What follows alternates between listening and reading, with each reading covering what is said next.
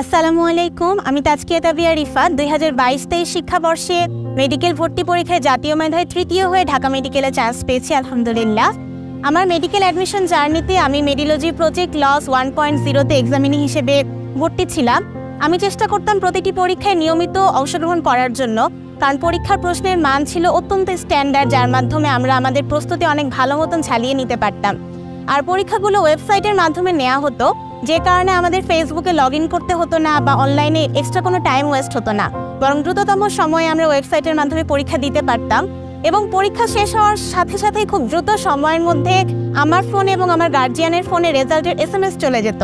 যে কারণে গার্জিয়ানও আমার রেজাল্ট মনিটরিং করতে পারতেন এবং আমিও আমার রেজাল্ট খুব দ্রুত টাইমের মধ্যে দেখে ফেলতে পারতাম এবং সেই অনুযায়ী নেক্সট প্রিপারেশনটা আমরা শুরু করতে পারতাম। প্রজেক্ট লসের পক্ষ থেকে আমাদেরকে মেডিলজি প্র্যাকটিস বুক দেওয়া হয়েছিল, যেখানে মূল বইয়ের সবচেয়ে গুরুত্বপূর্ণ প্রশ্নগুলো অত্যন্ত সুন্দরভাবে সাজানো ছিল, যার মাধ্যমে আমরা খুব দ্রুত একটি সুন্দর প্রিপারেশন নিতে পেরেছিলাম পরীক্ষার জন্য।